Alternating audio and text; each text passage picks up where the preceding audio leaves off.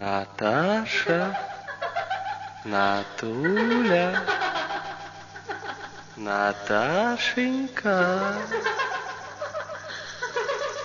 женушка,